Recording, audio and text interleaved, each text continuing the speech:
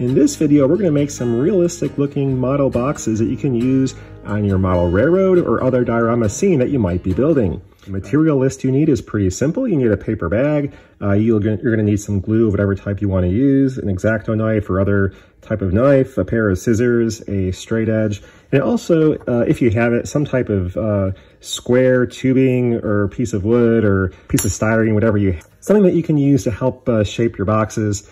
Um, it makes things a lot easier. You can do you can do it without it, but it does make everything go a lot faster and keeps your boxes more consistent in terms of their shape and size. And so to get started here, what we're gonna do is just take our paper bag and cut it into some strips uh, to make this whole process a little bit easier. And you can make hundreds of boxes out of one paper bag, if not thousands. So a little goes quite a long ways. Size tubing that you use, in this case, uh, I think this is quarter inch. That's going to determine the size of your box. Obviously, if you want to make smaller or bigger boxes, uh, a bigger or smaller piece of tubing can help you do that a lot faster. So I'll start with a smaller piece of the paper here.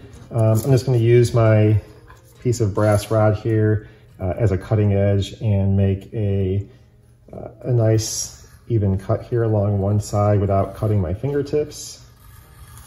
So now what I want to do is line up rod on one side and then make a series of, of just using the back of the knife blade, just kind of score the paper.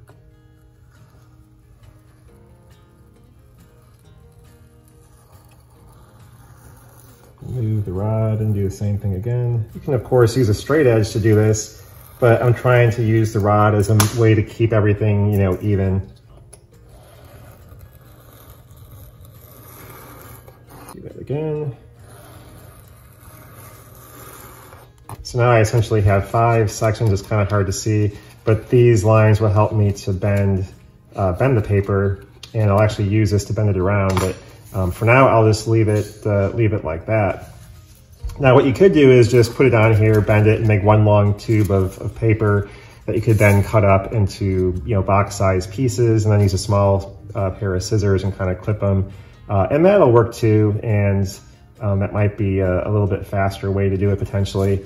Um, but what I'm gonna do here for this first one at least is just do a single box. The, the flaps on the bottom and the top of the box need to be essentially half the width of this tube. And so I'm gonna kind of just ballpark that, make a score mark, put the tube on there, make another score mark, estimate another half box width, slide that, slide that over. And now I've cut a piece of cardboard of uh, paper here that has score marks in, in both directions. It's hard to tell here, but you're gonna have to basically cut the half sides or you know the shorter sides here to actually make all the flaps. So now you have a sheet of paper that has uh, some score marks as well as some pieces actually cut. And so those will be the flaps for the box. Now we're just going to bend the box and I'll take a touch of super glue, put just a little dab there in the middle. And then I'm gonna use this rod as sort of a guide. Okay, squeeze that shut. Now we have our little box there without the flaps folded.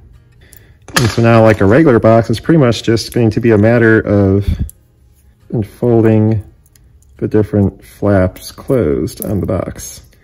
So you can get the first ones down. I'm going to put a little dab of glue in there.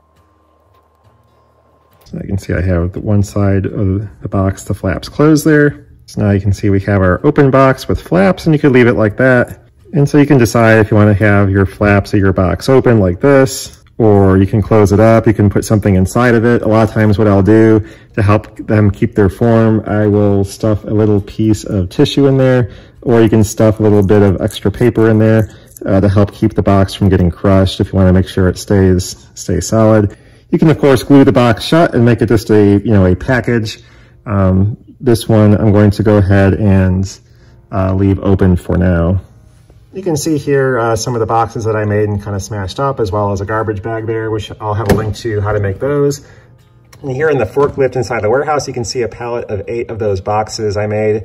Uh, I wrapped them with some uh, plastic, actually just cling wrap, uh, to make it look like they were all bundled on that pallet you see there. So it kind of makes a nice detail. They're easy to make. They do, you know, they do take a little bit of time to make each one of them, but they do look very, very realistic. Um, they do look like cardboard boxes, so it's kind of a nice detail there that you can see. So anyway, there you go. Simple cardboard boxes, easy to make. Just use some plain brown paper from a shopping bag, a few minutes of time, and you can make your own realistic looking uh, boxes and any scale really uh, that can add some nice detail to your layout or diorama. Anyway, that's all for now, and thanks for watching. Bye.